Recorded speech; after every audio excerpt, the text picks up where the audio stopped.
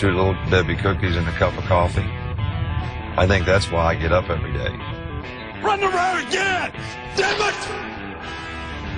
You got to enjoy something in life, I guess. He's